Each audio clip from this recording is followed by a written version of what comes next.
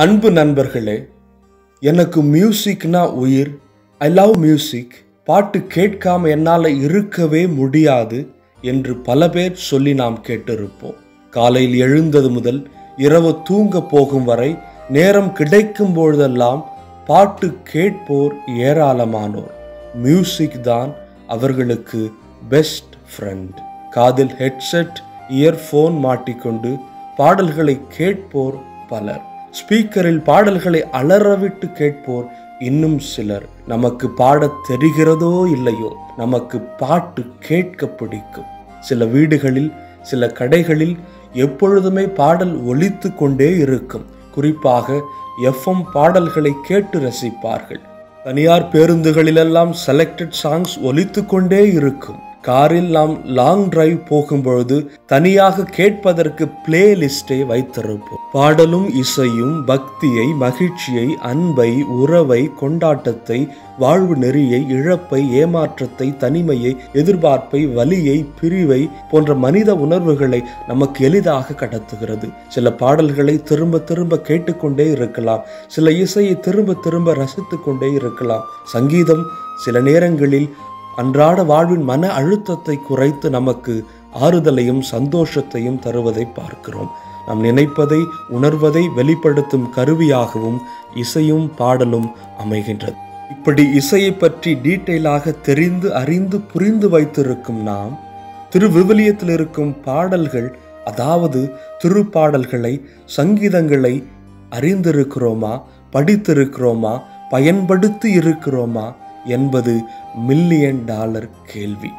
அது செம்ம பாட்டு சூப்பர் டியூனு என்னமா ஆழமான வரிகள் அது என்று நமக்கு பிடித்த பாடல்களை இசையை சிலாகித்து பேசும் நாம் விவிலியத்தில் இருக்கும் பாடல்கள் வெறும் பாடல்கள் அல்ல திருப்பாடல்கள் சங்கீதங்கள் அவை படிப்பதற்கும் பாடுவதற்கும் செபிப்பதற்கும் பயன்படுத்தக்கூடியவை இறை மனித உறவை வலுப்படுத்தக்கூடியவை என்று நாம் அறிந்திருக்கிறோமா? சங்கீதம் படித்திருக்கேலா கத்துண்டிருக்கேலா என்று கேட்பவர்கள் மத்தியில் கிறிஸ்தவர்களாகி உங்களை நான் கேட்பது நீங்கள் திருப்பாடல்களை படித்திருக்கிறீர்களா? சங்கீதங்களை செபிக்க பயன்படுத்தியிருக்கிறீர்களா? அப்படி இல்லை என்றால் வாருங்கள் திருப்பாடல்களை படிப்போம் சங்கீதத்தை கற்றுக்கொள்வோம். பழைய ஏற்பாட்டு புத்தகங்களில் ஒன்று திருப்பாடல்கள். மொத்தம் நூற்றி ஐம்பது. இவை விவிலிய பக்தி பாடல்கள் மற்றும் இறை மன்றாட்டுகளின் தொகுப்பு. பல்வேறு காலகட்டங்களில் பல்வேறு நபர்களால் இயற்றப்பட்ட இப்பாடல்களை இஸ்ராயல் மக்கள் தங்கள் வழிபாட்டில் பயன்படுத்தினர் என்று திருப்பாடல் முன்னுரை நமக்கு எடுத்துரைக்கின்றது.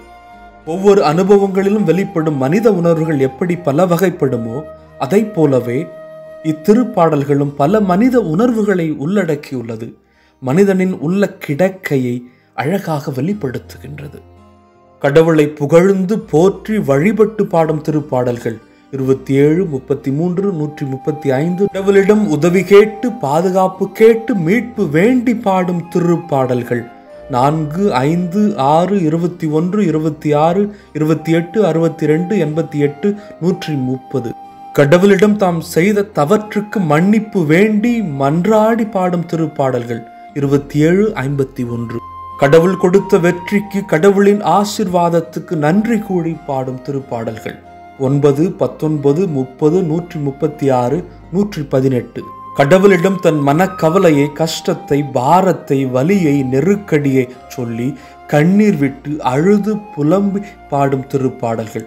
இருபத்தி இரண்டு முப்பத்தி எட்டு நூற்றி முப்பத்தி ஏழு நூற்றி நாற்பத்தி இரண்டு கடவுள் மீது கொண்டுள்ள அசைக்க முடியாத நம்பிக்கையை பற்றுறுதியை வெளிப்படுத்தி பாடும் திருப்பாடல்கள். பதினேழு இருபத்தி மூன்று ஐம்பத்தி ஆறு கடவுள் யார் எப்படிப்பட்டவர் எதை விரும்புவார் எதை வெறுப்பார் என்று மக்களுக்கு உணர்த்தக்கூடிய திருப்பாடல்கள். ஒன்று பதினைந்து முப்பத்தி ஆறு நாற்பத்தி ஆறு எழுபத்தி ஐந்து தொண்ணூற்றி ஒன்று நூற்றி நான்கு நூற்றி பனிரெண்டு நூற்றி பத்தொன்பது நூற்றி இருபத்தி எட்டு என்று நாம் வகைப்படுத்தி கொண்டே போகலாம். நான் ஏன் எதற்காக திருப்பாடலை படிக்க வேண்டும்? சங்கீதம் கற்றுக்கொள்ள வேண்டும்? என்ற கேள்வி உங்களுக்குள் எழுமானால் அதற்கான பதில் இதுவாகத்தான் இருக்கும். இது உங்களை ஜெபிக்க தூண்டும். இது நீங்கள் ஜெபிப்பதற்கு உதவி புரியும். இதை நீங்கள் படிக்கிற பொழுது பாடுகிற பொழுது அல்லது தியானிக்கிற பொழுது நிச்சயமாக இறை உணர்வு உங்களை ஆட்கொள்ளும். இது உங்கள் வாழ்க்கையை வாழ்வின் மனநிலையை அனுபவங்களை உணர்வுகளை இயலாமையை ஏக்கத்தை எதிர்பார்ப்பை பிரதிபலிக்கும் ஒரு கண்ணாடியைப் போல. நீங்கள் மகிழ்ச்சியில் படிக்கிற பொழுது புத்துணர்ச்சி பெறுவீர்கள். கவலையில் கண்ணீரில் படிக்கிற பொழுது ஆறுதல் அடைவீர்கள். நெருக்கடியில் ஆபத்தில் பயத்தில் படிக்கிற பொழுது பாதுகாப்பை உணர்வீர்கள். தேவைகளோடு வேண்டுதலோடு படித்து ஜெபிக்கிற பொழுது நடக்கும் கிடைக்கும் என்ற நம்பிக்கையை பெறுவீர்கள். மன்னிப்பு வேண்டி ஆண்டவரை என் பாவங்களை பொறுத்தருளும் என்று படித்து ஜெபிக்கிற பொழுது ஆண்டவரின் இரக்கத்தை கனிவை உணர்வீர்கள். நன்றி நிறைந்த உள்ளத்தோடு படித்து பாடி ஜெபிக்கிற பொழுது கடவுளின் ஆசிரை இன்னும் மிகுதியாக பெற்று வாழலாம். ஒன்றா இரண்டா? இப்படி பல காரணங்களை அடுக்கிக் கொண்டே போகலாம். இன்னும் சொல்லப்போனால் சங்கீதங்கள் மிகப்பெரிய பிரார்த்தனை புதையல் நமக்கு கிடைத்த பொக்கிஷம். கொரோனா நடத்தும் கொடூர யுத்தத்தில் நாம் பாதுகாப்பு வேண்டி உடல் நலன் வேண்டி மன நிம்மதி வேண்டி ஆண்டவரிடத்தில் ஜெபித்து கொண்டிருக்கிறோம். இந்த யுத்தத்தில் திருப்பாடல்கள் நமக்கு மிகப்பெரிய ஆயுதமே. பொதுவாகவே நாம் ஏறெடுக்கும் ஜெபங்களில் திருப்பாடல் வரிகள் நிச்சயமாக இருக்கும். ஏன் இயேசுவை கூட திருப்பாடலை மேற்கோள் காட்டுவதை நாம் புதிய ஏற்பாட்டில் வாசிக்கிறோம். நாம் மனதுருகி பாடுகின்ற நிறைய பாடல்கள் எல்லாம் திருப்பாடல்களின் அடிப்படையில் உருவாக்கப்பட்டவையே. புனிதவார வழிபாட்டில் நாம் அதிகமாக திருப்பாடல்களைத்தான் பாடி ஜபிக்கிறோம். திருப்பாடலின் வரிகளை பயன்படுத்தி நாம் ஜபிப்போம். இமாயனாகிய ஆண்டவர் நீரே என் புகலிடம் என் அரண் நான் நம்பியிருக்கும் இறைவன். இடுக்கனுற்ற வேலையில் எமக்கு உற்ற துணையாய் அடைக்கலமாய் ஆற்றலுமாய் இருப்பவரும் நீர்தான். துன்ப வேலையில் என்னை கூப்பிடுங்கள் உங்களை காத்திடுவேன் என்று சொன்னீரே. கொரோனா நோய் தொற்றினால் அச்சம் ஆட்கொண்டிருக்கும் இந்த நாட்களில் உம்மையே நாங்கள் நம்பியிருக்கிறோம். உம் இறக்கைகளின் நிழலையே நாங்கள் புகலிடமாக கொண்டிருக்கிறோம். அவர்கள் என்னை நோக்கி மன்றாடும் பொழுது அவர்களுக்கு பதிலளிப்பேன். அவர்களது துன்பத்தில் அவர்களோடு இருப்பேன். அவர்களை தப்புவித்து அவர்களை பெருமைப்படுத்துவேன். தீங்கு உமக்கு நேரிடாது. வாதை உந்தன் கூடாரத்தை நெருங்காது என்று சொன்னீரே. எம் மனக்குறைகளை உம் முன்னிலையில் கொட்டுகிறோம். கொரோனாவின் பிடியில் சிக்கி வீட்டில் அடைபட்டு உறவுகள் தடைபட்டு வாழ்வாதாரம் பாதிக்கப்பட்டு பயணங்கள் எல்லாம் முடக்கப்பட்டு பிள்ளைகளின் கல்வி கேள்விக்குறியாகி நாளை என்ன நடக்குமோ என்ன அறிவிப்பு வருமோ என்ற குழப்பத்தில் பயத்தில் கவலையில் மனம் உடைந்து புதிய மாற்றத்திற்காக நாங்கள் அனைவரும் காத்து கொண்டிருக்கிறோம். நாங்கள் நெருக்கடியில் இருந்தபோதெல்லாம் நீர் எங்களுக்கு துணை புரிந்தீர்கள் இந்த இக்கட்டான நேரத்திலும் எங்கள் மீது இறங்கி எங்கள் வேண்டுதலுக்கு செவி சாய்த்தருளும். எல்லா வகையான நெருக்கடியிலிருந்தும் எங்களை விடுவித்தருளும். எங்களை முன்னிய நன்னிலைக்கு கொணர்ந்தருளும். படைகளின் ஆண்டவரே உமது உறைவிடம் எத்துணை அருமையானது. ஆனால் உலகெங்கும் ஆலயங்கள் எல்லாம் மூடப்பட்டு வழிபாடுகள் நடைபெறாமல் நாங்கள் உம் கோயில் முற்றங்களுக்காக ஏங்கி தவித்துக் கொண்டிருக்கிறோம். விரைவில் இயல்பு வாழ்க்கை திரும்பி உம் ஆலயங்கள் எல்லாம் திறக்கப்படுவதாக. உம்மிடம் வாழ்வு வேண்டி வந்தவருக்கு நீண்ட ஆயுளை அளித்ததைப் போல நோய் தொற்றினால் பாதிக்கப்பட்டோருக்கு ஆறுதலும் சுகமும் அளிப்பீராக.